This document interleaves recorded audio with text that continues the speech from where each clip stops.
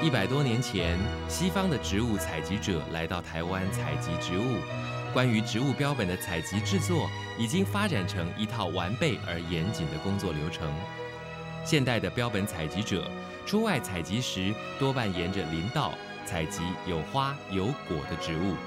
如果是有目标的采集特定物种，则会在行前研究目标物种的生育地以及开花结果期，然后在适当的季节前往采集。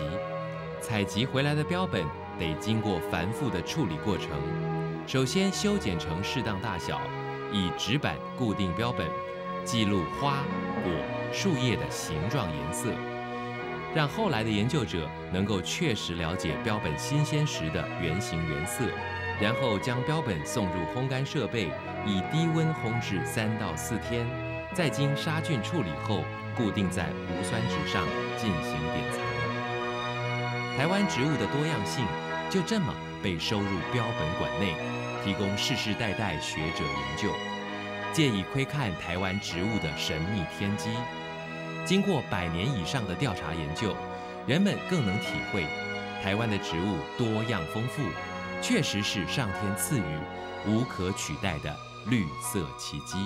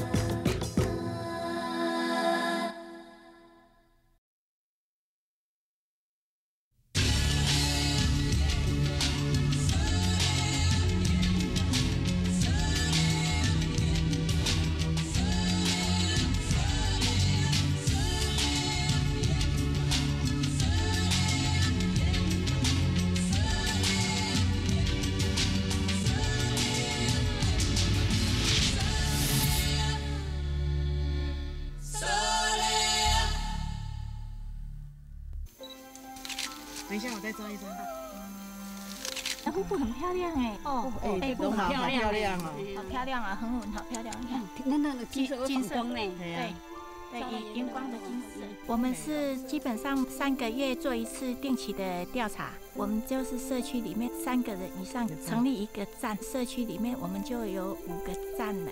嗯，特生来帮我同林社区开课，每隔一年哈，他就会有一个定期的课程。在这边，我们这一组做蜘蛛调查，也有统计出来一些数量物种，大概也都有一些成效。那我们就是会农忙完之后哈，这一段时间他会帮我们排课，我们大家就会很踊跃的来上课。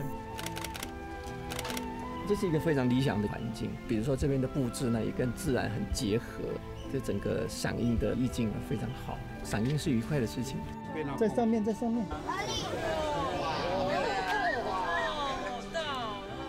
因为永兴社区哈，在八卦山的中段哦，是八卦山的最高点哦，所以每年这个灰面狂啊都会从我们这边经过哈，在一个机缘里面啊碰到特有生物中心举办生态研习哈，然后发现灰面狂鹰在这边迁徙啊，是我们社区相当珍贵的社区之宝啊，于是成立护林护鹰队，维护生态基地，开班授课，办理导览解说认证，培训社区解说人才，让社区的居民呢更加体认生态保育的重要。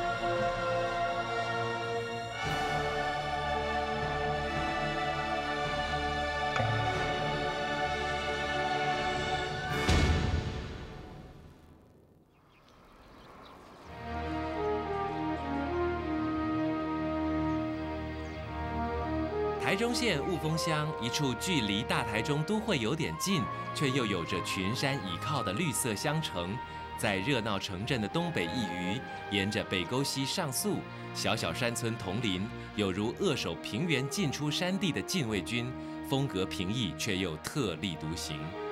有着九九峰昂然守护的铜陵山村，在近几年传统的农业聚落有了一些改变。整个铜陵社区来讲，它主要的经济作物就是以龙眼啊、荔枝啊为主。九十五年，台中县政府在我们铜陵的后半段后花园设置一个青铜陵生态产业园区。按这个机缘，我们认识到特生中心，然后。我们从我们在地文化，哦，包含说我们在生产过程当中，怎么去兼顾到我们的一个环境。其实讲真的，农民以生态来讲，跟他是没有什么关联。我只要把水果照顾好。但是，当你要了解社区，一定要先哎知道这个生物跟这个环境有什么关系。那我们借由特生这样一个专业的老师来，让我们可以很清楚的哎，比如说猫头鹰跟环境有什么样的一个直接关系。透过一个专业课程之后，哎，让我们的妈妈、我们的社区的居民啊，很清楚的，哎，原来这些东西在社区还是有，哎，很多的功能。比如猫头鹰有它在，你看它可以把老鼠的量控制在某个程度，哎，它也可以来做某个方面的一个哦生态的一个平衡。我们假如能够把这个。环境照顾得好，表示说我们这个环境很适合人，包含生物。这个社区，我想是很多外面的人很羡慕的一个生态的环境社区。嗯，在课程当中特生，让我们学很多，我们也能够进一步的来了解哦，原来社区有这么好的生态面。比如说像我们这边的蓝雀啦、八色鸟啦，哦，包含猕猴啦，还有。菱角鸮之类的，我们社区都有，让我们觉得蛮自豪，然后让我们做这调查的时候觉得蛮高兴的。这么多可爱的生物会选择跟我们一样，哎，住在这样的一个环境。一般人俗称猫头鹰的菱角鸮，是中低海拔常见且较接近人类的吃枭科鸟类。因为城市开发的压力，数量已经逐年减少。同龄村民在村子的果树园里设置了大大小小的人工巢箱。他们深信，一旦吉祥物猫头鹰进驻之后，许多久违的老朋友将一一回返山村，就像沉寂已久的农业一样。同龄社区来讲，龙眼算是我们台湾地区，包含在台北果菜市场拍卖，都是一个很好的价位。整个龙眼它的一个栽种哦，你看从我们住家的旁边，然后沿着这种溪谷啊，一直延伸到整个一个能线上面，几乎我们都是适合来栽种这样的一个龙眼的啊。其实它最好的品质，它应该是靠近靠近零线上面这样的一个环境，它可能包含它的日照啊、温度啊，会好过于在整个溪谷。整个比较顶级的，它会偏向能线上。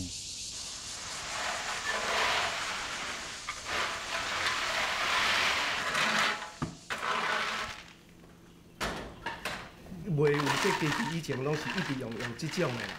啊了后，阮再有经过有真侪年的研究了后，啊，佫消费者嘛讲啊，就无无传统的芳开。啊，即马啦，佫安佫家烘者加减吼，点啊薄薄的芳开。迄个花粉较袂，花粉味较袂遐重安尼，啊有点仔芳开，消费者嘛较欢迎安尼，较袂讲啊过去的传统拢家己弄会无去啊。伊我自囡仔时代开始就有伫做这啊，小伫民国五十年啊，阮开始就有有伫行这啊。较早阮是阮阮阿公、阮老爸拢一直安尼流传落来，啊后来了后有过去请教迄个专业的人，有一寡较细节的所在安尼，才出来品质拄伫迄个九九峰山骹吼，日夜温差佫湿气嘛较重吼。安尼啊地地质嘛有较好安尼的关系，遮食的甜度加足悬的，啊肉嘛较 Q，啊阮遮栽培甲品种嘛有关系。传统与现代参柔的烘法，让原味依旧飘香。坚持沿袭疏伐过后的龙眼树当做新柴使用，烘出来的龙眼壳保留原色却不留残渣。过去几年。生产过剩的龙眼才会被烘制成龙眼干，当做零嘴贩售。但自从以台湾产的荔枝龙眼面包以冠军之姿扬名国际后，这两种乡土水果一系翻红，不论鲜果或烘干，通通供不应求。尤其这些冠军食材，大多来自台中雾峰的这个小小山村，烘制龙眼的手始终停不下来。这是同龄人固守传统，并以 ISO 国际认证的严格品质管控得到的应有回报。懂得谦逊和感恩的同龄人，在每年农产品丰收的重要时刻，丝毫不忘记对自然的尊重和土地的回馈。他们在采收结束后，会以理肥的慎重仪式，在龙眼树周遭泼洒肥料，感谢一年来的辛苦节食。果农形容，这就像为怀胎十月的妇女坐月子一样的感恩心情。这种敬天谢地的知恩图报，不仅体现在丰收之日，一湾静卧在村庄的北坑溪谷中，经常可见全村动员清净溪流的阵容。借由吉吉特有生物研究保育中心为村人开设的社区生态教育推广课程内容，让村人开始认识成长土地上的一花一石、一草一木。透过亲身的参与和调查，他们终于闻嗅到近在咫尺的山林，流淌过家园的清溪，正是一生追逐不可多得的珍贵财富。我们并不是每一种植物我们都亲，那我们亲的是这一种叫做小花曼泽兰的植物。其实这个在台湾已经恶名昭彰，那它对我们的那个原生植物危害很大。它是属于藤本的植物，所以它在繁衍的时候争取阳光很强势，蔓延的很快，那它就会抢了别人的阳光，那把其他的植物盖住，影响它们的生存。我们在这个开花的之前，我们就尽量把它拔，因为它等花期到开始结种子，我们一拔那个种子又飞散了。当然，我们不可能全面清除，但是为了一个环境的美观，我们就是在近期的时候也会把它做一个移除的工作。如果民众都有这股对土地的情感和自觉，几乎攻占全岛的小花曼泽兰，终有消失殆尽的一天。不仅是净息或者清除外来种，保护台湾本土原生种的自发行动。在这条枯水期鹅卵石遍布的北坑溪床上，社区居民透过特生的生态课程，正有系统的逐步深入自己原乡的血脉。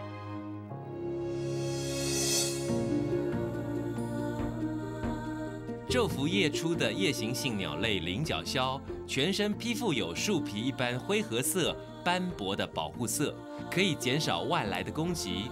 而它如红外线一样的暗红色眼睛，以及钩状的锐利嘴喙，是黢黑夜色里的猎食利器。以猫头鹰作为意象的同林社区，利用当地物产，发想出多种以猫头鹰创作的乡土工艺。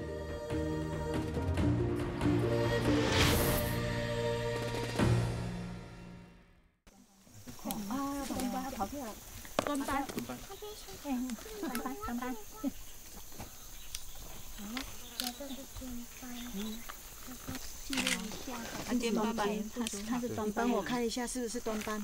嗯，看一下是不是端班，找一下，比对一下，是端班还是肩班？背部是迄个像格子放射线的，迄个迄个是迄个是端班。有红红的吗？有红红的头，有红红的头，那是端班，不对。那有格子。有格子啊，格子，对啊，有格子，有格子，对。背部有没有？看一下那个那个肩斑跟端斑的差别是怎么样？肩斑，肩斑它是怎样？没有红红是格。没有红红的。一子一子。然后这个是格。有格子，然后头部是红色的。嗯。端斑没错了哈。还有一只，再看看。是什么的？比较绿的，腹部腹部两条绿色的肩斑嘛？肩斑应该是肩斑。好，可以了。那我我把它刷下。OK，小心哦，小心。到到了到，有了有了有了。抓到了，抓到了，抓到了，抓到了。哦！收起来哦，抓起来它就缩起来的哎。对，看一下，看一下，看一下，看一下，抓到了。是什么？看一下，这是什么？哦，中型金珠，很漂亮哎。看一下。啊，真的真的是是是是，哎，是很漂亮啊。刚刚看在，哎，它它那个，你看那个横带像不像那个什么？原住民的图腾哦，屁股那个地方啊。哦，像原住民的样子。哦，就大只，嗯，系啊，像原住民的衣服。看麦，看差不多几公分斤的，小我切个，啊，记录一大概几个？身长？一二，大概三，诶，两格，还不到三格了，按差不多一点五公分。系啊，一点五公分就十五米十五米的，差不多哎差不多十四。重型金珠它的体长差不多有有一公分多，十十二三米里这样子。那这一只算大只，这一只算是很蛮大只的，嘿，啊，它的呃那个身上的颜色很漂亮，很鲜艳，那它的横纹很明显，有黄色的、黄绿色的横纹，然后后面头部角也差不多有红褐色的，所以它的颜色很漂亮。一节一节的那个斑纹。对，我们是基本上三个月做一次定期的调查，然后我们小组有空的话，我们会做比较小规模的调查。我们就是社区里面三个人以上成立一个站，社区里面我们就有五个站了。那我们这一组是有六个人。我们大概九十五年度特生就有来帮我们开一堂课。啊，那时候围棋训练也是差不多六个月的时间，后来他就慢慢的放给我们，我们自己就常常这样子结伴出来，有时候会带一些对特有生物有兴趣的朋友带他们来这边，然后顺便把我们同龄社区做一番的介绍，就是基本的社区解说员。解说呃，特生他们那边也很用心，常常会帮我们安排课程，每隔一年哈，他就会有一个定期的课程。在这边，我们这一组做蜘蛛调查已经三季了，是今年初开始的嘛？对，好、所以是算是第三季。蜘蛛在电影或卡通动画中，经常被塑造成狠毒、邪恶、黑暗的势力。但这些经常被误认为昆虫的节肢动物，却是社区调查成员眼中神秘与美丽兼具的最佳解说导览题材。经由摄影、记录、辨识的分工过程，平日敬而远之的生物令人惊艳。这些有着农夫、家庭主妇身份的成员，将一只只是或不是的蜘蛛拍照、记录、传至特生。特生人员在确定物种并统计后，给予学员答复。目前除了蜘蛛的调查，同林社区同时还进行着蝴蝶、青蛙、植物等相关研究。当初特生发现同林拥有丰富的生态资源，成为了许多生物繁衍族群的宝地。同样在距离铜陵不远的天空下，一处有着大冠鹫和多种猛禽喜爱盘旋流连的地方。因为地处八卦山脉的最高点，这个原本以农为主的传统聚落，成为了猛禽过境的中途驿站。每年三月，从南方北返繁殖地的灰面狂鹰，打响了南投市永兴社区赏鹰的名号。猛禽改变了永兴的生态，也为社区产业找到了契机。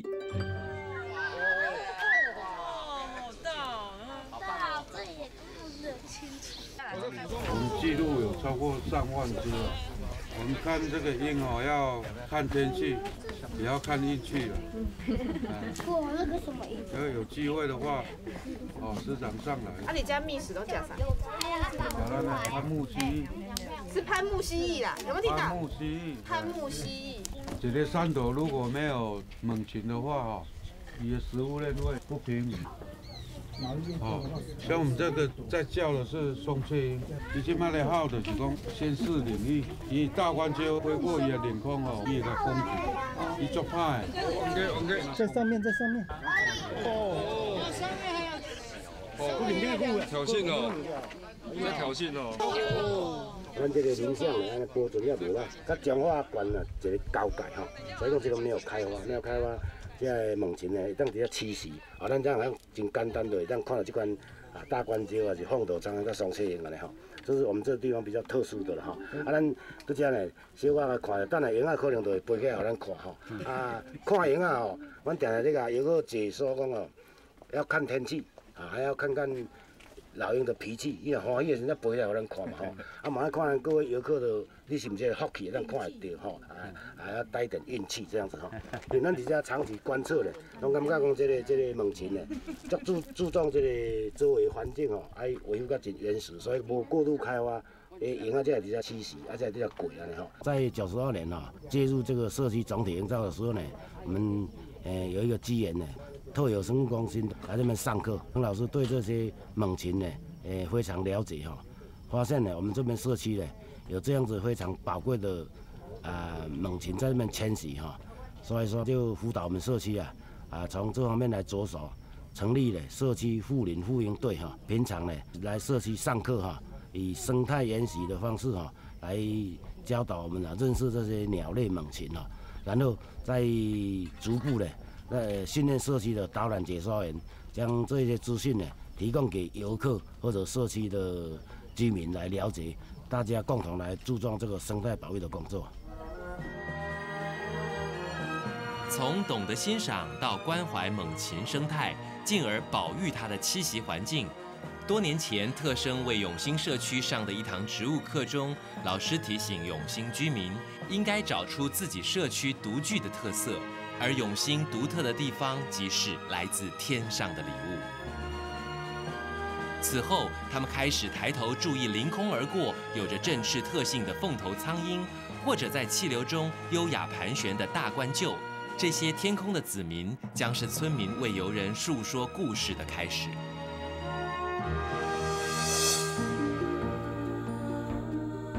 每年十月双十节前后，从北方西伯利亚一带飞越台湾到南方渡冬的过境鸟灰面狂鹰，又称为灰面鹫，因为飞行路线以及往返季节的特性，分别有国庆鸟、南鹭鹰，甚至因三月北返而得名的清明鸟、扫墓鸟等多种称呼。